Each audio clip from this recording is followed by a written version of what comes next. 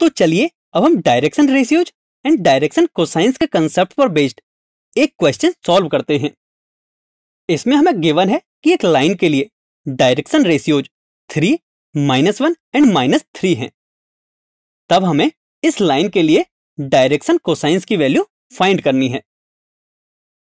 तो चलिए, अब हम इसका सॉल्यूशन देखते हैं। क्वेश्चन में हमें लाइन के लिए डायरेक्शन रेशियोज गिवन है, जहाँ से हम कह सकते हैं कि ए की वैल्यू होगी थ्री बी की वैल्यू होगी माइनस वन एंड सी की वैल्यू होगी माइनस थ्री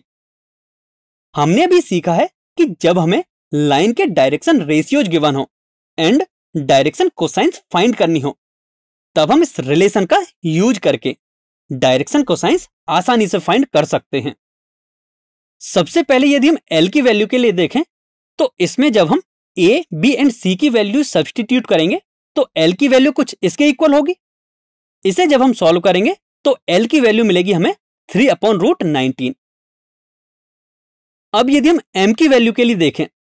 तो इस फॉर्मूले में जब हम सारी वैल्यू सब्सटीट्यूट करेंगे तो कुछ इस तरह की इक्वेशन मिलेगी, जिससे हमें एम की वैल्यू मिलेगी minus one upon root nineteen अब यदि हम एन की वैल्यू के लिए देखें तो इसमें जब हम ए बी एंड सी की वैल्यू सब्सटीट्यूट करेंगे तो एन की वैल्यूज़ हमें कुछ इस तरह की मिलेगी जिसे हम आसानी से सॉल्व कर सकते हैं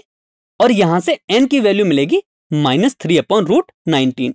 So हम यहाँ से कह सकते हैं कि जो गिवन लाइन के लिए डायरेक्शन कोसाइंस है, वो three upon root nineteen,